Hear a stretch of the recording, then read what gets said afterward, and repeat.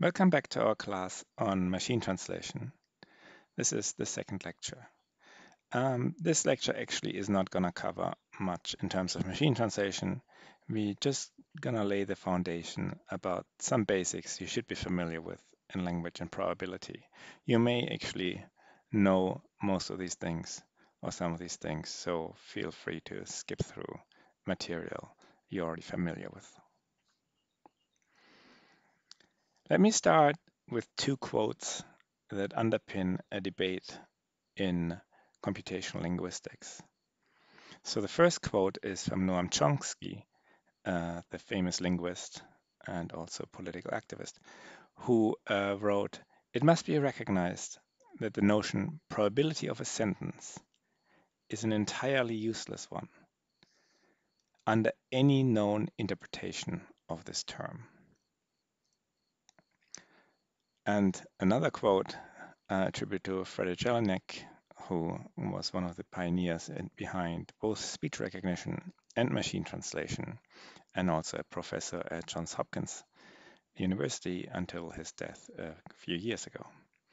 He is uh, famous for one of the things he's famous for is this quote Whenever I fire a linguist, our system performance improves.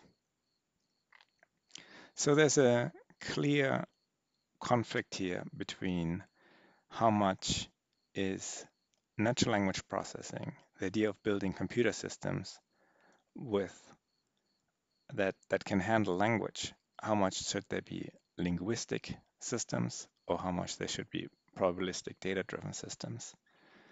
And uh, this is a, a rather interesting debate in the field. And there's a various ways how you can frame this conflict. So one way to frame it is as rationalist versus empiricist.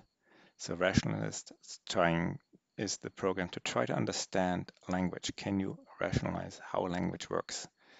Can you get a reasonable account of the functions of language? Whereas empiricists are more interested in what language does actually occur, how can we learn from the data that is out there, and uh, explain it as just an event that produces data.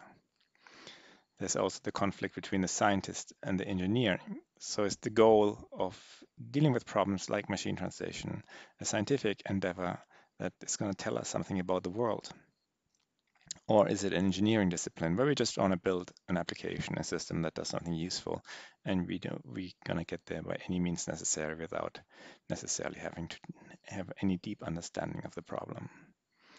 Another way to frame it is insight versus data analysis. Um, are we actually trying to gain some deep insights into the nature of language, or is this just a data analysis problem where we're just trying to find patterns? So are we ultimately trying to explain language or we're trying to build applications. So uh, let me first actually cover these two big themes. First, we're going to talk about language, and then we're going to talk about probability theory and uh, methods relevant to uh, the systems we're going to develop. So you need to have at least some understanding of either, no matter where you fall on that debate. So let's first take a fairly naive view of language. So language needs to name things um, such as objects in the world. Uh, these are called nouns. So we have words like dog and cat and house and even names like Bill and Joe. Then actions, jump, run, talk, listen. And then properties of objects and actions.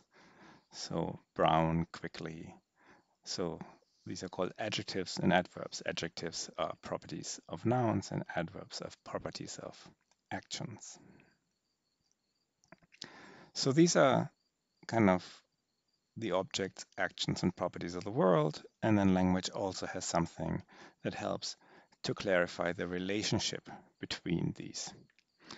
So there are various ways language can do this. One is word order. So when I see, say, man bites dog, in English, it's clear who's doing the action, who is the action acted upon. Uh, but it might also be morphology. Morphology also plays other roles, for instance, dog, dogs, having plural, multiple dogs. past tense of verbs, and so on. And then there are also function words. So if you look at just the screen, there are words like to, of, a. These are all function words. They are kind of the glue that also helps to tie everything together. So if you just kind of look at these words here, so these are all content words that either describe objects, actions, or properties. You have quick and dog and fox and lazy and brown. So these are kind of, if I want to explain, say a sentence, these may be all the content words I'm going to use.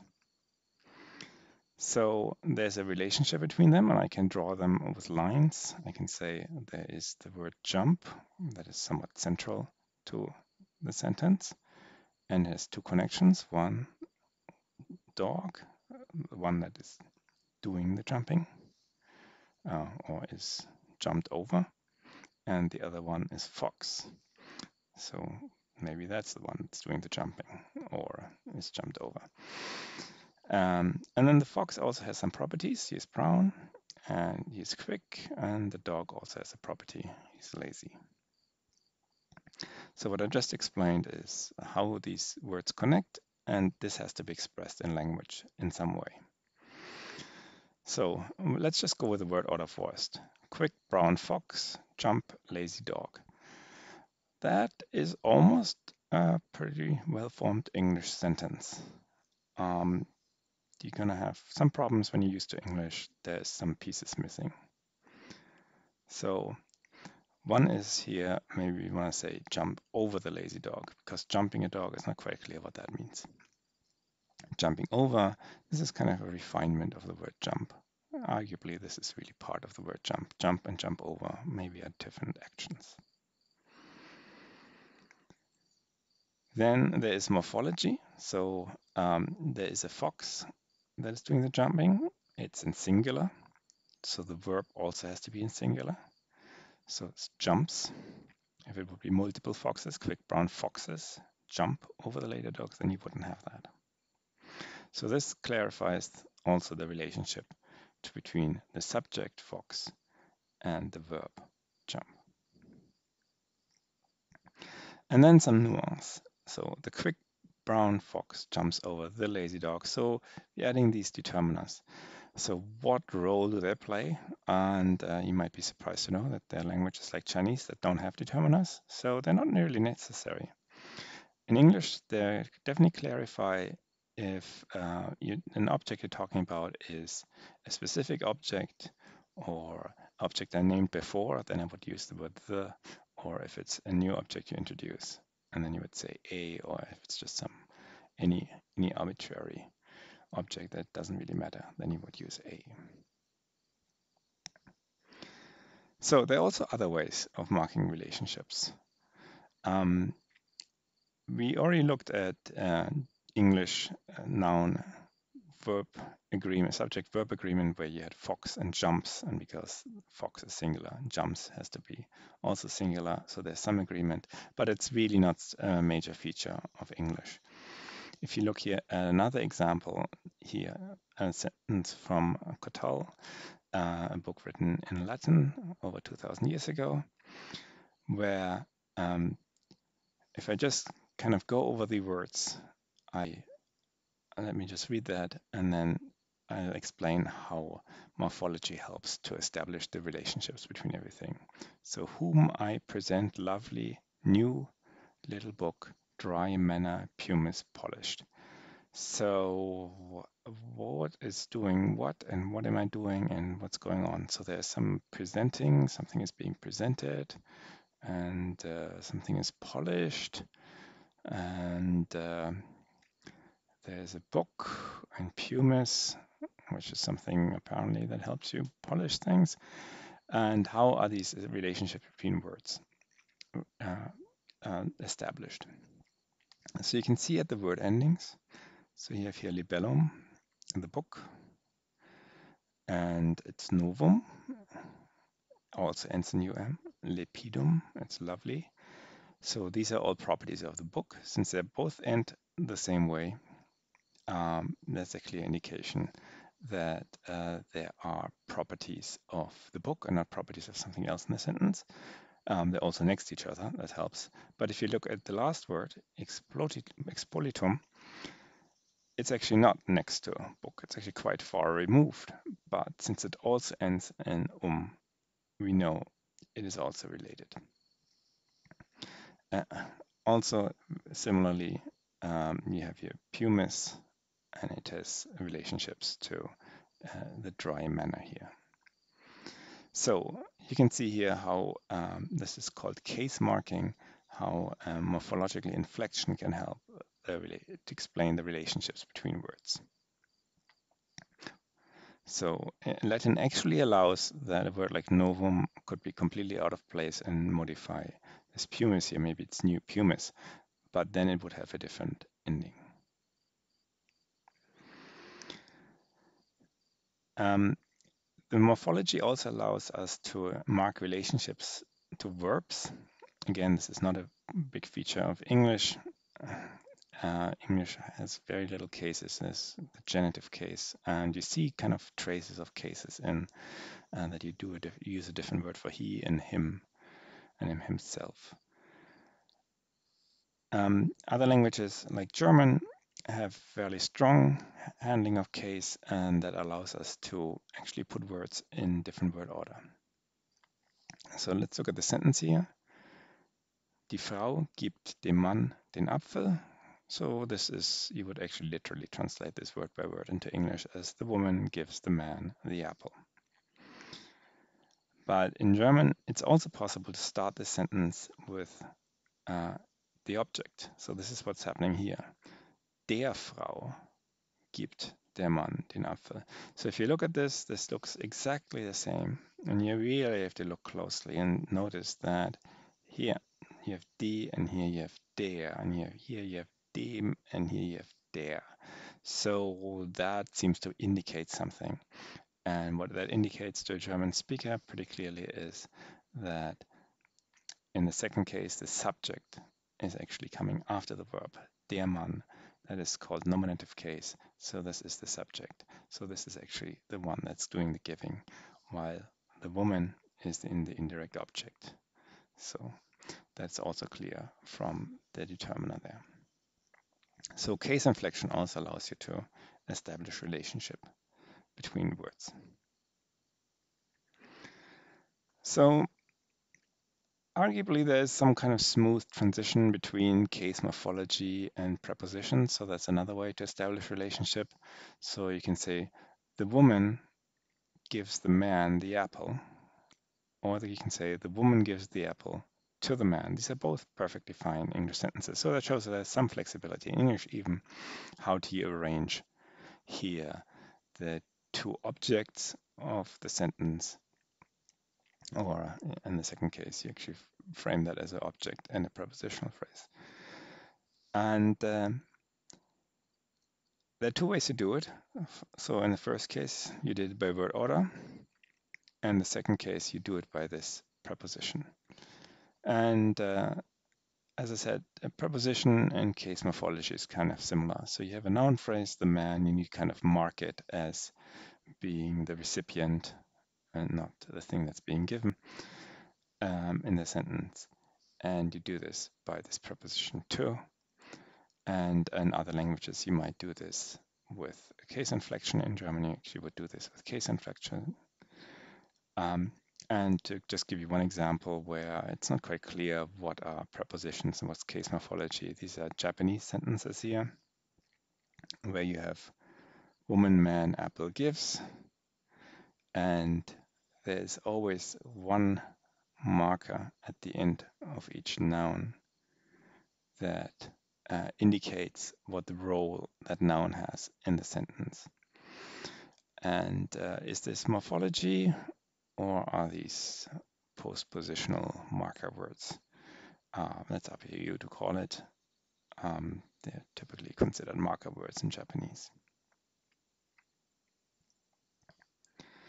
Okay, let us just take a bit of a big picture view about the kind of linguistic analysis we typically carry out when we want to build more sophisticated natural language processing systems. So here is a simple sentence. Uh, these are just the words of the sentence. So this is how we actually write things down and observe.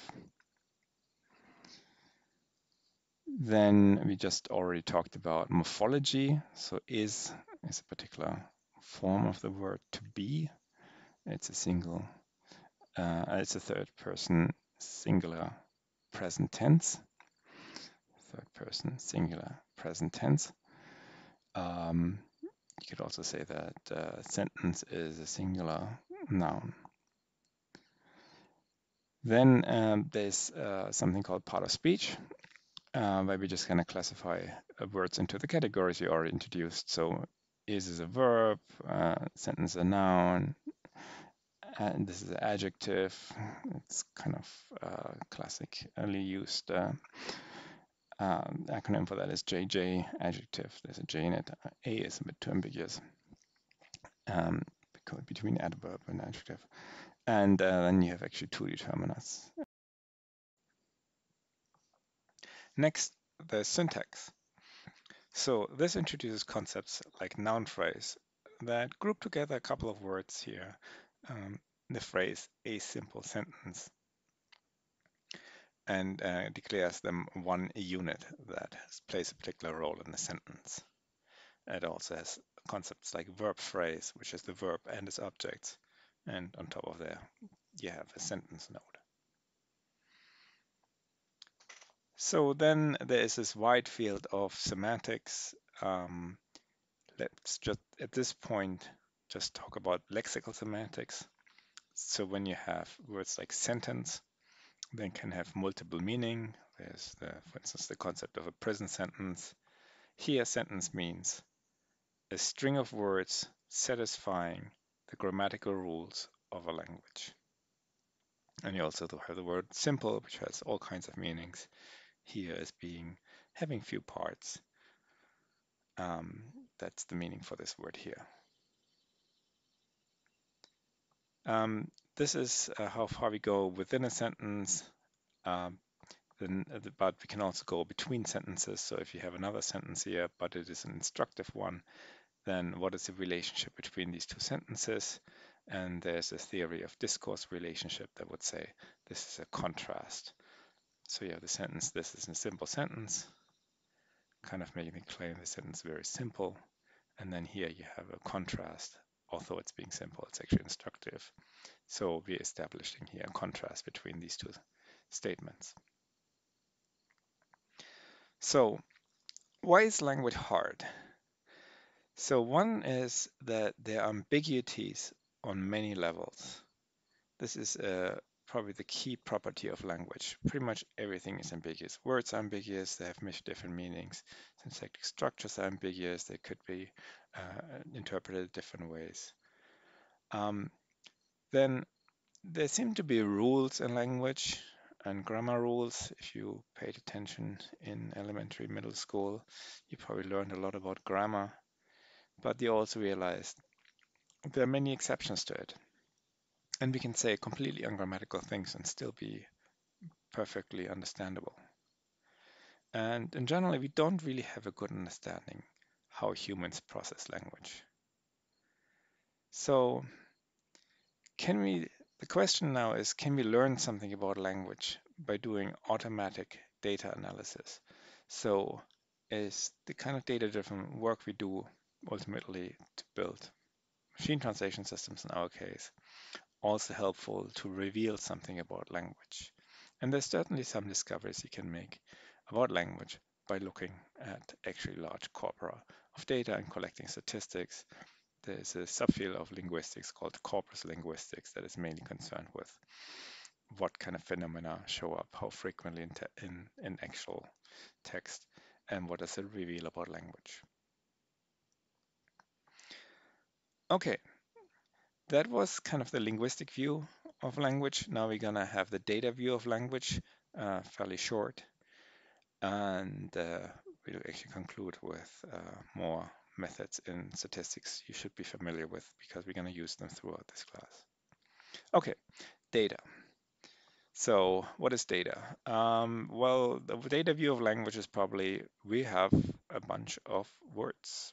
We, a, a word is, let's define it as a string of letters separated by spaces. And that's a good working operation, although there is uh, some details you have to worry about. So one is what do you do with punctuation. So if you say uh, letters separate by space is then the colon part of the word definition? No, it's not. So punctuation, we typically want to split off. This is a process called tokenization. Then there are things like hyphen, high risk. Should we split that off? This is actually an open domain, the open debate if you should treat this as two words or one word.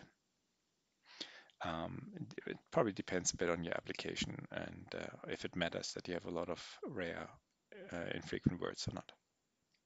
Then there are things like clitics. So here the genitive marker Joe's. Uh, should you split that off? And in actual natural language processing of English, you actually tend to split that off and say Joe is one word and then this uh, quote is, is the other word. And then there's compounds, which exist in English. I don't fully understand how it works in English. It, uh, it happens. Words like homework and website are written as one word, but generally, if you have two nouns next to each other, you keep them separately. But there are other languages, like famously German, that less loves to put words nouns together. So Computerlinguistik Vorlesung means a lecture on computational linguistics. And it's all just one word. And why shouldn't it be one word? It's one concept. And then there are languages like Chinese that just don't make any spaces at all. Um, so here the definition of a string of letters separated by spaces doesn't really work. So ultimately you would define a word maybe as some kind of atomic unit of meaning, although then you run into problems with how is a, a morphology play a role, or morphemes atomic units of meaning, or they're part of a word. Okay, um, a bit more tricky than you may, might first think, but if you focus on English and deal with some special cases, uh, it's somewhat a doable concept. So what if what happens if you actually look at words in a corpus? So here we look at uh, English corpus uh, from uh, proceedings of the European Parliament. Uh, that's a fairly famous corpus in the development of machine translation because it's a fairly large corpus of translated text. Anyway, here we just look at the English and we just say, what are the most frequent words? And if you just go by any word, you get the most frequent word in English is the. So since we typically treat punctuation just like any other word, and maybe then we shouldn't call them words, but we should call them tokens.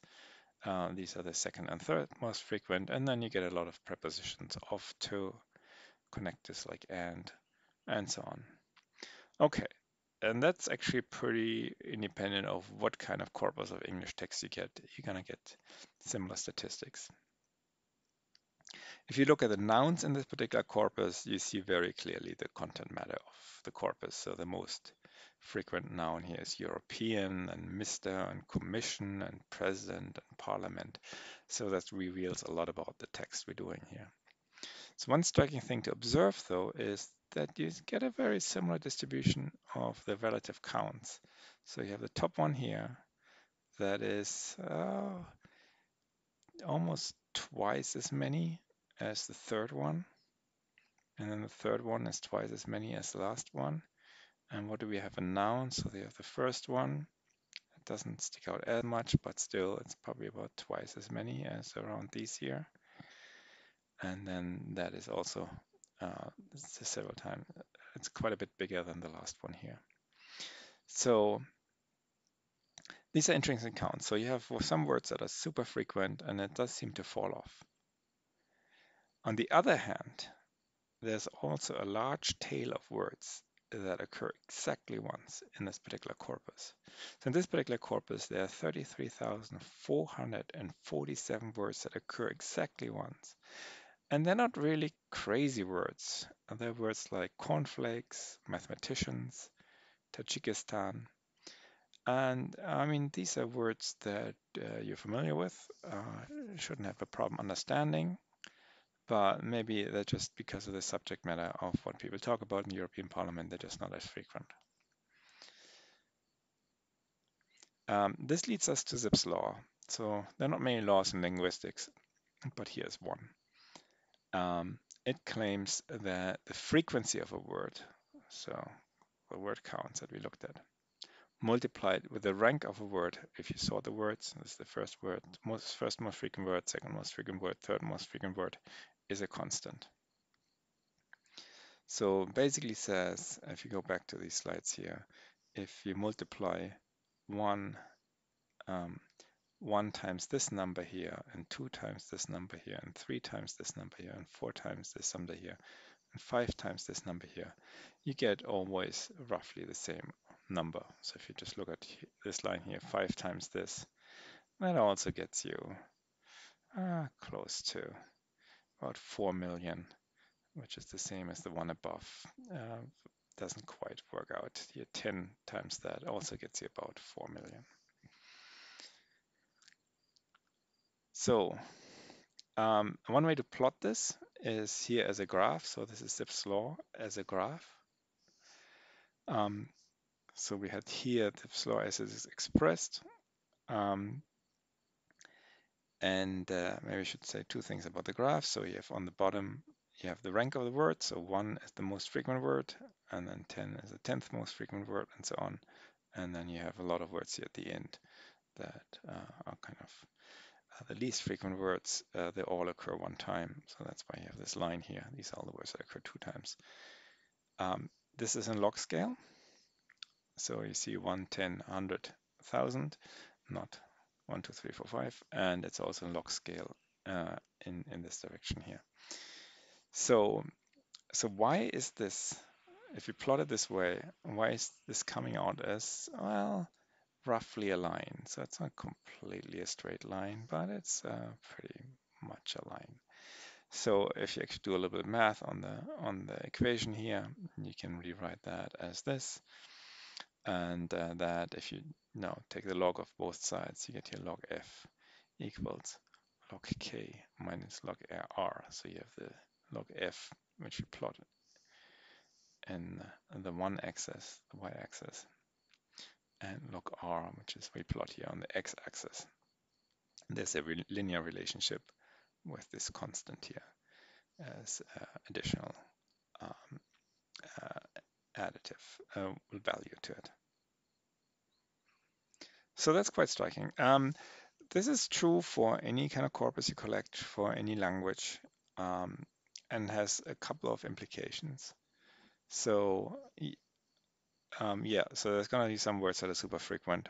That's not a bad thing. But there are always going to be some words that are super rare, and that's a problem. So no matter how big your corpus is, there are going to be a lot of rare words and you don't know what to do with them and you don't learn much about them because you don't see them very often. So let's uh, introduce some concept of statistics that are going to be useful throughout this class uh, going forward. So one uh, mathematical concept we're going to deal with a lot are probabilities. So um, given the word counts that we just estimate eh, that we just looked at for how frequent words are, we can actually do things like estimating probability distributions. So we look at the count of a word, for instance, the word the, and then we look at the sum over the count of all the other words. And that gives us the probability, if I pick any word out of a text, what's the probability that I pick the word the? Um, this way of estimating a probability distribution is called maximum likelihood estimation. Why does it have this complicated name? Well, we'll get to that a little bit later. So estimating probabilities based on frequencies is also called the frequentist approach to probabilities. This uh, probability distribution answers the question, as I already said, if we randomly pick a word out of a text, how likely will it be the word W? Uh, in a formal, uh, we introduce a random variable, big W, And we define a probability distribution P that tells us how likely the variable W has the value of the word lower, small w. So the probability that this random variable has this value is this number. That's the definition of a probability distribution. So we might be also interested in joint probabilities, especially in language. Words don't occur in isolation. They occur in sequences. And uh, well, the simplest sequence is a bigram, two words next to each other. So the words W1 and the w, W2 occur in a sequence called a bigram. Um, so we can model this with a distribution prob probability of W1, W2. If the occurrence of words in bigrams would be independent, we could reduce this to um, probability of word 1 and word 2 following each other is the same as the probability of word 1 occurring and the probability of word 2 occurring. So intuitively, this is not the case for bigrams um, if you know a word, it kind of limits pretty heavily what the next word is. Just kind of think about the most frequent word, the. It's the most frequent word, so the the should also be pretty frequent, but the the is actually extremely rare. You don't really say the the. We can estimate joint probabilities over two variables the same way we estimate the probability distribution over a single variable. So we're just gonna do now, let's just count up all the bigrams so there we actually would count in a corpus how often does the, the occur, and we realize actually it doesn't occur very often. So that's going to get a, a fairly low probability. Conditional probabilities is another useful concept. So here now we look at the probability of word 2 occurring given that word 1 just occurred. So given that the word the occurred, what word would follow? So it answers the question, if a random variable, big W i, big W1 is W1, what is the value for the second random variable, W2? Mathematically, we can define a conditional probability in this way, and that pretty much already says everything you really need to know from a mathematical point of view. So you have the probability distribution, the joint probability distribution of W1, W2. How do, often do they occur in a sequence divided by the probability of word 1. That gives you the probability of word 2 given word 1.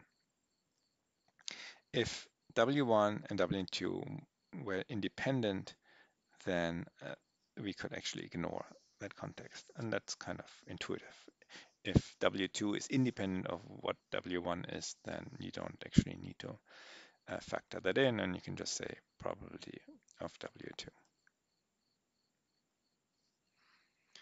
So um, this uh, gives us the chain rule. This is just a mathematical reformulation pretty much of the definition of conditional probabilities. So if you say probability of word 2 given word 1 is defined as follows, then we can also do a little bit mathematical mumbo jumbo here, basically move this here to the front and we're gonna get probability of word 1 times probability of word 2 given word 1 is the same as the probability of that sequence. So if you want to try and break down even larger joint probabilities, we can do the same thing. We can compute this as the probability for the first word, the probability for the second word given the first word, and then the probability of the third word given the first two. Okay, one more concept um, we'll introduce is the Bayes rule. This is also um, pretty much just some uh, playing around with what conditional probabilities are so the probability of x given y is can be rewritten as the probability of y given x times the probability of x divided by the probability of y. Why we want to do that, there are actually a bunch of good reasons why that is a pretty handy way that allows us to reformulate uh, a bunch of problems. It's mathematically not very complicated, it's easily derived from the chain rule. So if you just say probability of the, joint probability is the joint probability. That's just identity anyway. and then um, apply the chain rule just in different ways. Probability of x given y times probability of y, and probability of y given x times probability of x, and that gives you then um, this here, the Bayes rule. Okay, another concept uh, that's useful is expectation. So we introduced the concept of the random variable x, and uh, it uh, it's a random variable. It can have multiple values, and then for each of the possible values you have, we have a probability value associated with that. To uh, take a much simpler example in language, let's just roll a look at the roll of a dice. So there is a one-sixth chance that will come up as one, two, three, four, five, six. So the expectation is uh, computed as follows. So the expectation for random variables. So we sum over all the possible values we can have and take the probability of that value times what the actual value is. Obviously, this only works for values, distributions over numbers. So if you predict if the probability gives the random variable all the possible values are numbers, which are the case here. So if you look at that here and multiply it out, you end up with 3.5. And uh, one way to think about this, this is kind of the average value you get if you roll a dice.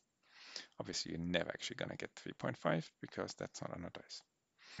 But if you roll a dice a thousand times and add up everything, you're probably going to get something similar to 3,500. Variance is a related uh, concept um, that tells us a little bit how of how much uh, values deviate from the mean, so the expectation we just computed. And uh, it's a, a, bit complicated the way we define it. So we look at, uh, again, all the possible values uh, for um, a random variable. We look at the probability of that, and then we check how different it is. How is the difference between x and the expectation for x? So that's the mean. And then we square that, so that's a bit more complicated. The squaring does have the advantage that we don't have to worry about if this is a positive value or negative value. If we don't want to know if it's, uh, we, we want to know how far it is from the mean, but we don't really care if it's bigger than the mean or smaller than the mean. And squaring is one way to accomplish that. So intuitively, this is the measure how events diverge from the mean. So there's also something called standard deviation, which is pretty much the same thing, except uh, it's a square root of that. Well, you kind of undo the squaring here by uh, defining uh, the standard deviation uh, as the square root of variance x. So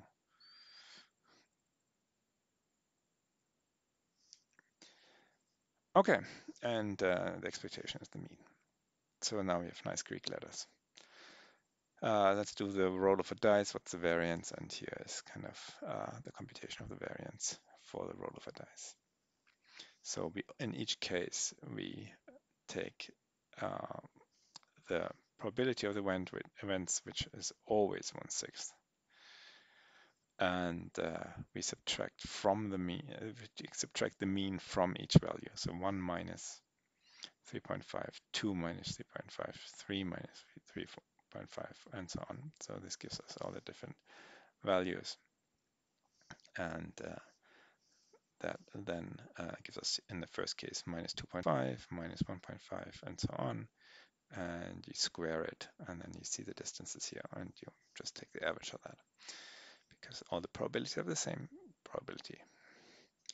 Okay, um, there's a bunch of distributions. Uh, so we talk about probability distributions, um, uh, mostly so far as we can estimate from counts and data, but they're also just theoretical distributions that are very, very much, much simpler, that I have a few parameters um, that come in handy. One is uniform.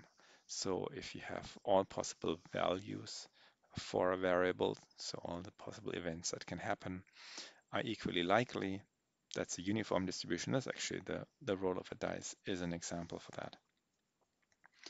And then uh, there are uh, binomial distributions that are used for a series of trials that have only two outcomes.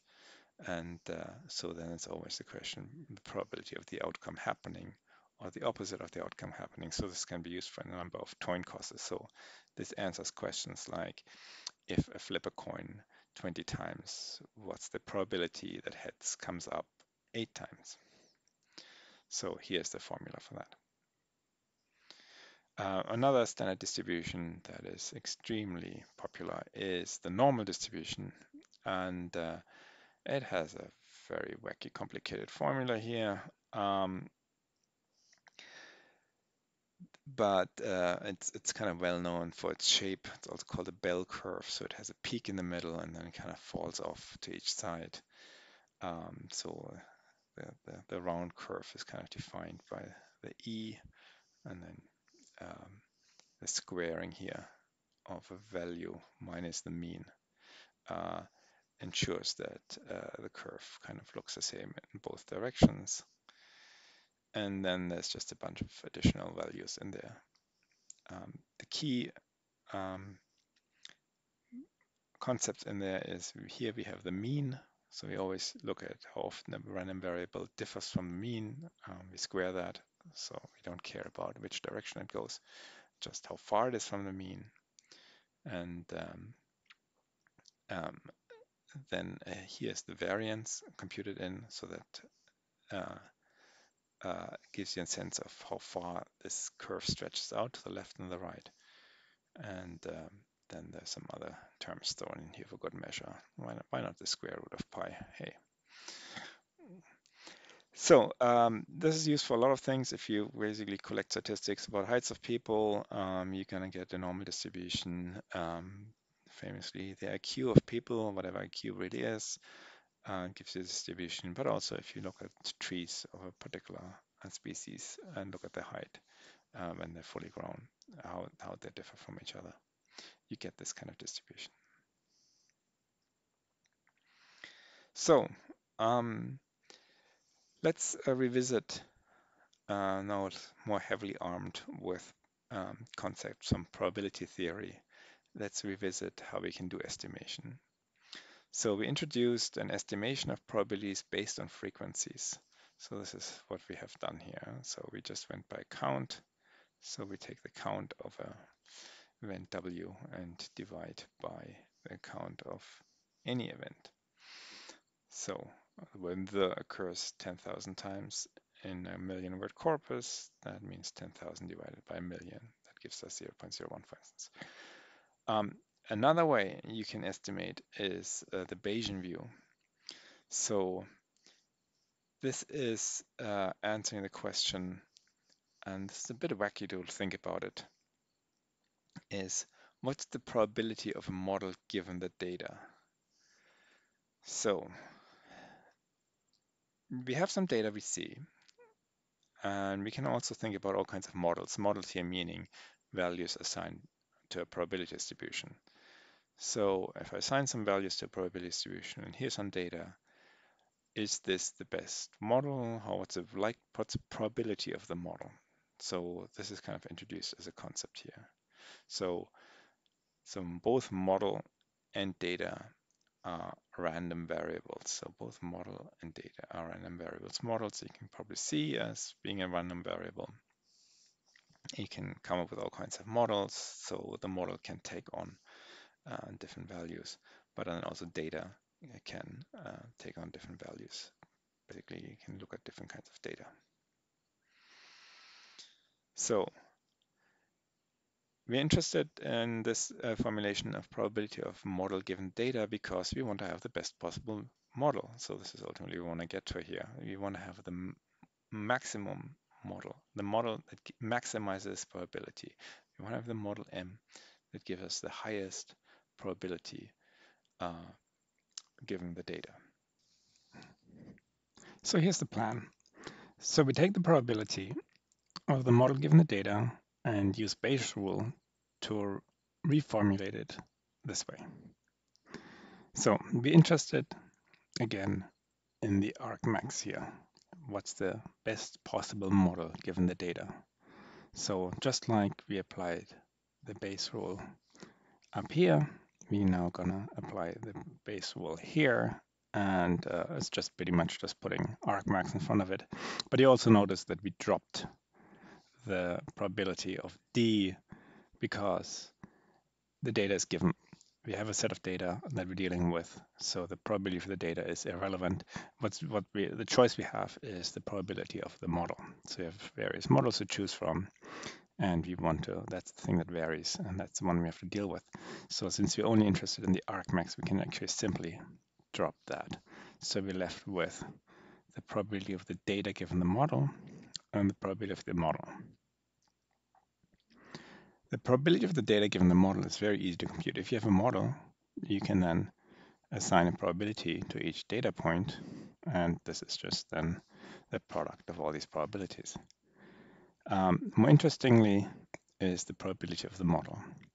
So we are interested in answering the question here, what is the most likely model given the data? And what this reformulation allows us is to introduce a prior of the probability of a model by itself. So this like sounds a bit of a strange concept.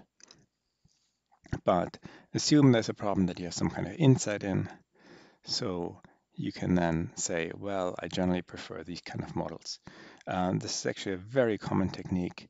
Um, the most often application in machine learning is some kind of prior that prefers simple models.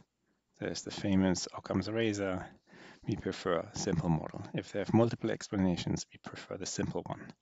In machine learning, it's mostly driven by I want to have a few as fewest parameters as possible, or I have a lot of uh, fewest parameter that actually have significant values. I want to zero out other parameters that don't matter. If I have uh, a simple explanation is better. So this combats overfitting in machine learning. So um, how does this differ from the frequentist estimation we have done so far? Well, if you make this Bayesian estimation and have a uniform prior, so that's where the probability of the model actually doesn't matter. No matter what model you have, it's the same value, then um, the probability of the model of the data uh, is uh, the argmax of that is equivalent to the argmax uh, over the probability of the data given the model. So if this here drops out in the formulation up there, you're left with that. So you want to have the model that maximizes that. So it's the most likely model given the data. So is, therefore it's called the maximum likelihood estimation. Okay, another useful concept to introduce is entropy. We'll see actually a lot of variances of entropy. So in the simplest form, let's just introduce it. Um, it's just the entropy of a probability distribution. So um, probability distribution has different values, and there is this rather complicated formula here that uh, goes over each item in the probability distribution. And does the log 2 of the probability, and then also multiplies that with the probability, and then there's also a negative sign in there.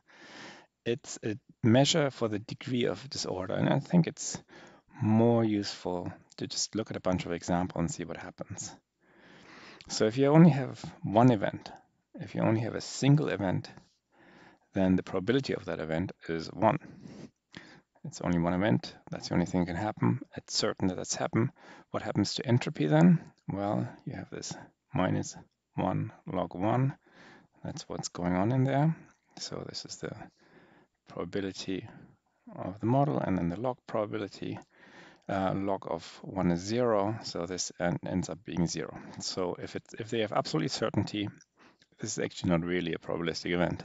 So if you have absolute certainty, then the entropy is 0. What if you have two equally likely events? So you have two events, A and B, and they all have, both have probability of 0.5. And you do some number crunching here, and entropy turns out to be 1. If you have four equally likely events, then the probability of each event is 0.25. Do the number crunching here, and you end up with two. Um, if you have enough background in computer science and remember it, this is very much related to information content. So if you have to encode four different items, how many bits do you need? You need two bits. So you're going to encode one of these items is 0, 0, and the next one is 0, 1, and then there's 1, 0, and 1, 1. So with two bits, you can encode what these different events are. And uh, so you need two bits for that. So if they're equally likely, that's actually the optimal way to encode it. Okay, what if things are a bit more skewed? So again, you have four um, events. So now you have four events, except one is more probable than the other. So here's a bit of a picture. So you have the most probable event here, and then the other ones are, are less probable. So if we do the number crunching on that here, we end up with 1.35. So uh, if you remember, if you had two events, the entropy of that was one. If you had four events that are equal like the entropy of two, so we end up somewhere here in the middle between the two. Okay, let's push this a little bit further and make one event super duper more likely than the other. So one event is 0.97, so pretty much that's always going to happen unless for some rare cases other stuff happens. Um, here's your number crunching, and you end up with 0.24. So again, in the scale of absolute, absolute certainty, um, where you have entropy of zero, you have two equally events of one, four events equally likely two, we actually end up somewhere much closer to zero.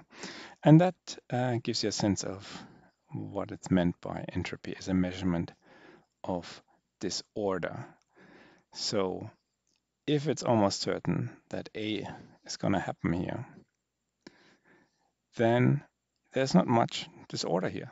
There's a lot of certainty. And so the 0.24 reflects that um, as uh, not really all being all that disorderly. Okay, um, here are all the examples. Also threw in for good measure, and I, you probably saw that coming. If you put in eight events here, entropy is three. You need three bits to encode eight possible values. Okay, so why are we introducing entropy in this context? Because um, we think about a model, a good model has low entropy. As a, mo a model we want to build models that makes certain decisions and uh, certain about the outcomes and is not very confused. So if you have a translation table that says if you have the foreign word der, then the is a probability uh, is a, a, translation with a probability of 0.8, and that is a translation with a probability of 0.2. If you look at this uh, distribution here, you'll say this has a fairly low entropy, probably going to be somewhere between 0 and 1. Um, so this is better than a model that looks like this here, where, well, probably the, this is the most likely, but I'm not sure about this, and I'm not sure about that one either, and there might be other things I'm also not sure about. And this is going to have a much higher entropy. So a lot of statistical estimation is about reducing entropy. And we actually often directly optimize or track progress on our model is how does entropy improve over time. Um, I already alluded to that here, uh, the relationship of information theory and entropy. So if you encode a sequence of events X and each event is invented by a sequence of bits.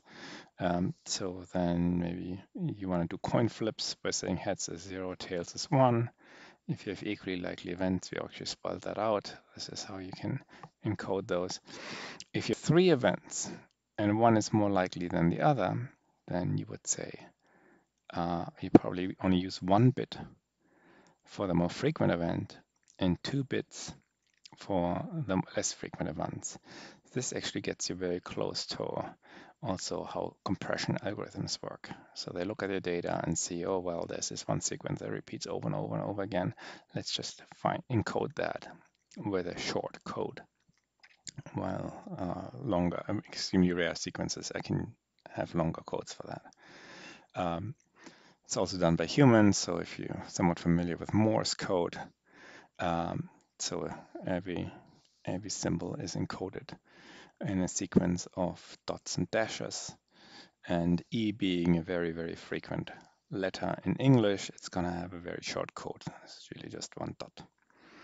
And Q, which is just a very, very unusual letter in English. Well, not completely, but it's going to have a much longer code. I think it has three or four uh, dots or dashes.